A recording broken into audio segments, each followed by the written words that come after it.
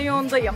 Efendim Alanya'ya geldim ama Alanya'nın için çekmek istemedim. Sapadere mevkiindeki Sapadere Kanyonu'nu çekmek istedim. Burası 750 metre uzunlukta, 400 metre yükseklikte muhteşem bir kanyon. Zamanla kireç taşlarının erimesi ve kırılması sonucu oluştuğuna dair bir rivayet var. Ben de ilk defa geliyorum sizinle birlikte. Hadi gelin birlikte gezelim.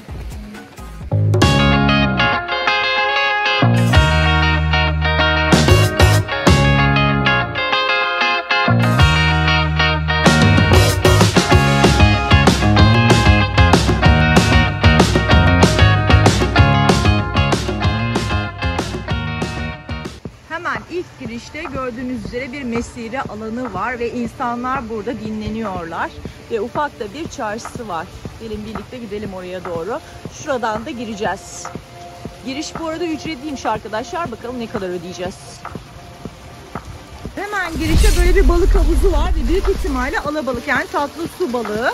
Eğer arzu ediyorsanız bu mesire alanında bunlardan da isteyip pişirtip yiyebiliyorsunuz.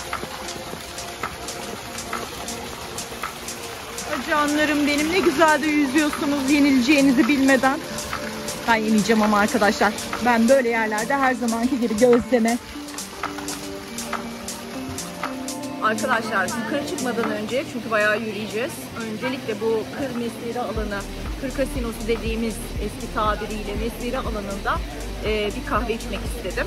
E, kahvesi de güzelmiş bu arada. Hani gelmek isterseniz siz de ilk etapta bir kahve için enerji toplayın. Ondan sonra arkaya doğru ilerleyin. Çünkü 700 metre bir alan yürüyeceğiz ama e, tabi basamaklı ve e, özel sonradan yapılmış çelikler e, ve ahşaplar e, desteğiyle kurulmuş köprü üzerinden yürüyeceğiz. E, bu da zorlayıcı olabilir. Bu arada dikkatimi çeken bir şey var. Buraya Alanya merkezden safariler düzenleniyor. E, ve bayağı bir turist kafilesi geliyor. E, akın akın iler, gel- gelmekteler şu an. Biraz geç oldu. 12 gibi şu an saat. Belki sabah 8.30-9'dan sonra gelinmeliydi ama bu arada şunu da söyleyeyim. Sabah 8'de açılıyor, akşam 7'de kapanıyor Sapadere Kanyonu ve haftanın her günü açık. Bir dipnot da vermek istiyorum. Normalde Sapadere Kanyonu kireç taşlarının kimyasal etki sonucunda erimesi ve e, kırılması sonucu oluşmuş dedim ama turistlerin gelip görmesi açısından 2008 yılında aktif hale geliyor kanyon.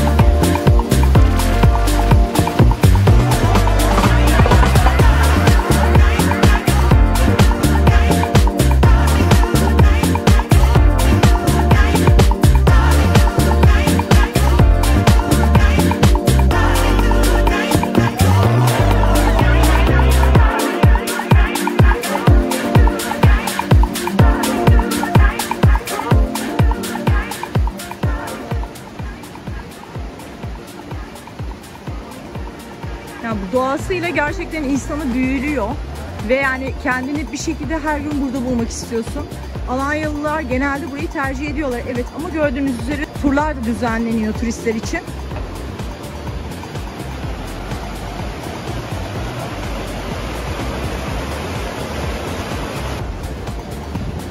Bu köprü üzerinde bu uyarılar her zaman var arkadaşlar. Çünkü suyu görünce insanlar ister istemez dalmak istiyorlar. Bu şekilde merdivenler yapmışlar. Fakat girmek yasak her yerde giremezsiniz.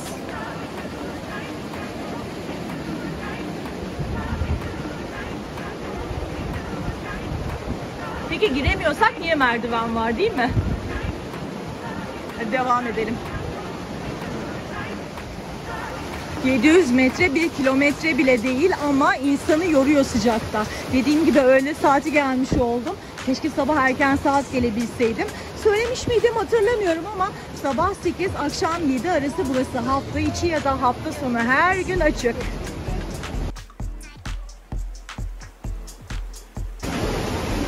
Ve burada suya girenler var bakalım ne yapıyorlar üşüyorlar mı?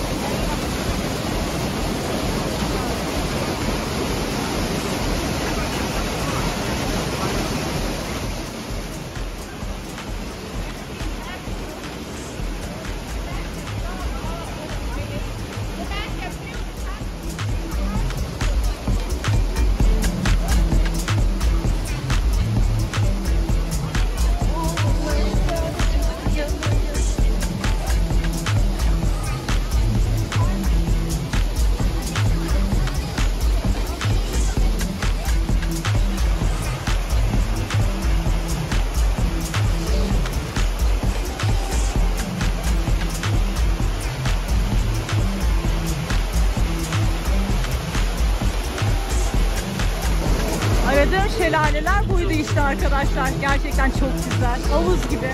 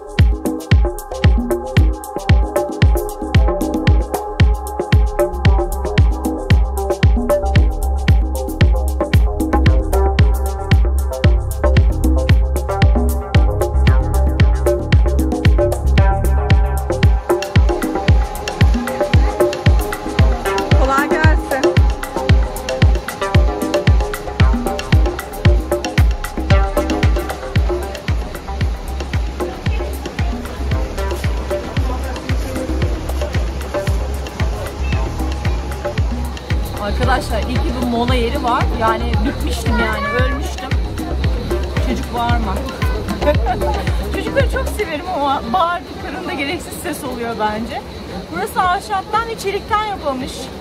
Yani istenirse eğer kanyona zarar vereceğini düşünüyorlarsa kaldırabilecekleri pozisyondalar ama iyi inşallah kaldırmazlar yani çünkü gerçekten bir 500 metre geldikten sonra insanın pili bitiyor. Yokuş yukarı gidiyorsun o ahşap köprüden ve acayip yoruluyorsun yani ama ben devam edeceğim tabii mecburen. Ama size video çekmiyor olsaydım inanın devam etmezdim.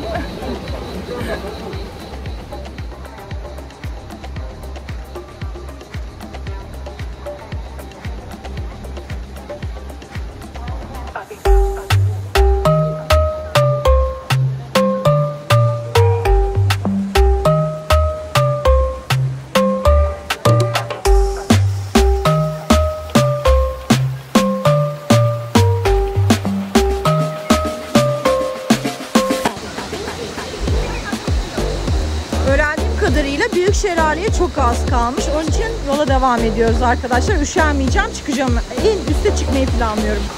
Bakalım ne kadar dayanacağız ve ne kadar kalmış.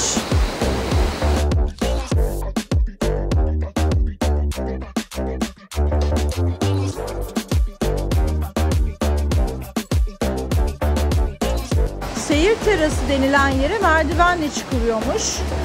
Ee, sanırım merdivenler burada ama bayağı bir merdiven var. Şöyle şu şekilde yapılmış sonradan. Bir dolu merdiven var arkadaşlar. Vallahi çıkanlara helal olsun diyorum. Ben çıkmıyorum. Şelaleyi göstereyim size. 386 basamak. Helal.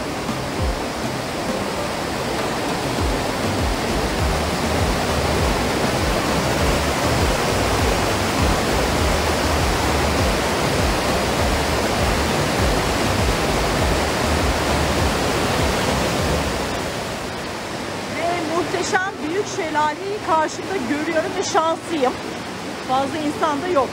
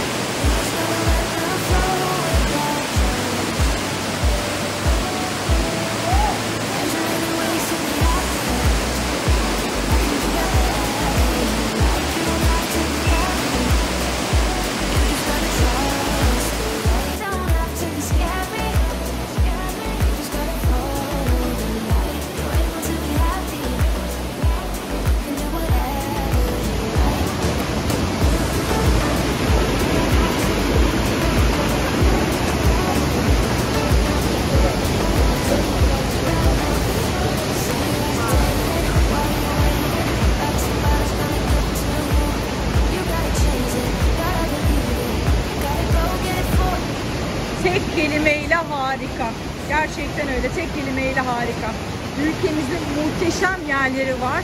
Tek yapmamız gereken uygun bir şekilde, ekonomik bir şekilde evden çıkıp araştırıp tatil planı yapıp bir şeylere bağlı kalmadan o 5 yıldızlı pahalı pahalı otelleri bu tarz yerleri keşfetmek.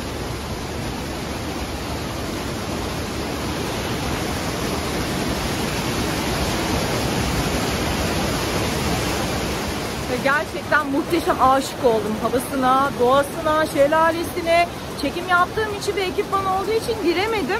Ama sonra ne olur bilmiyorum tabii çekim bittikten sonra. Fakat e, Sapadere köyüne gitmek istiyorum arkadaşlar. Orada da görmek istediğim yerler var ve yol üzerinde çok güzel piknik yerleri, mesire alanları görmüştüm, alabalık vesaire. Yavaştan hareket ettiğim için olsa gerek karnım acıktı. Köye geçerek devam edelim. Tatam. Şimdi böyle yolun biraz ilerisinde köye doğru geldim. Bir mekan buldum. Yemek yiyeceğim ama çok güzel yani dokuma tezgahına da denk gelmiş oldum. İpeğe başlamamışlar daha ama çok güzel dokuma tezgahları var görüyorsunuz arkada. Ee, burada biraz mola vermek istiyorum çünkü çok şanslıyım ki su değirmeni dediğimiz yer de buradaymış.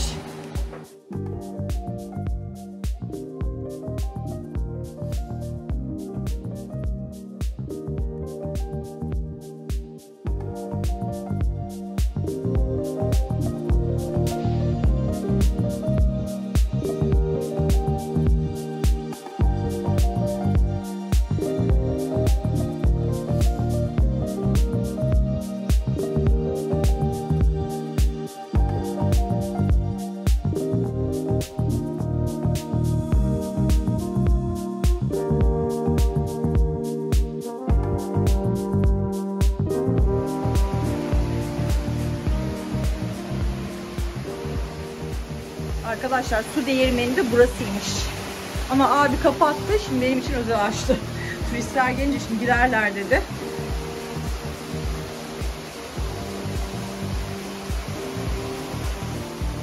Burası biraz karanlık ama başka gösterebileceğim bir şey yok. Şu su değirmeni dediğimiz olay buymuş.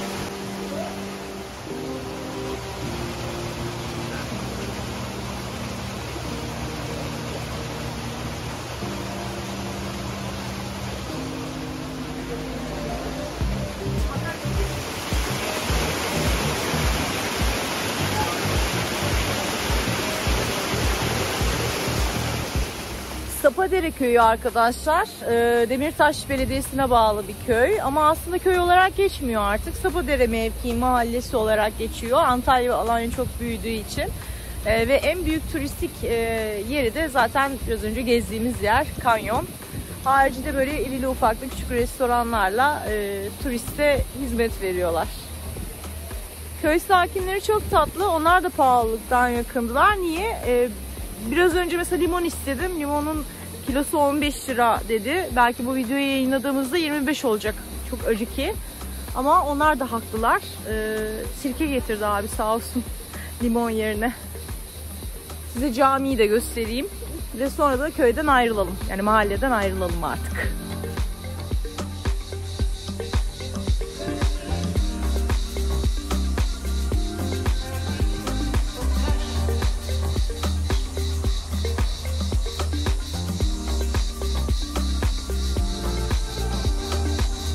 Çay bir şekilde devam ediyor ama tabii ilerledikçe inceliyor arkadaşlar. Buradan devam ettiğimizde de ana yola çıkıyoruz ve Alanya'ya doğru ilerliyoruz. Valla Alanyalıları anlıyorum. Ee, artık Alanya'da büyüdü. Ee, haliyle de bu tarz yerler rağbet görüyor. Ben çok bayıldım yani havasıyla, köylüsüyle, sohbetiyle, yemesiyle, içmesiyle. Her ne kadar sadece patates yemiş olsam da güzel bir gündü arkadaşlar ama yorucu da bir gündü. Özellikle de kanyon çok yordu. Umarım beğenmişsinizdir videoyu. Eğer beğendiyseniz güzel yorumlar atmayı unutmayın. Takip etmeyenler takip ederlerse sevinirim. Kendinize çok iyi bakın. Bir başka videoda görüşmek üzere. Adios.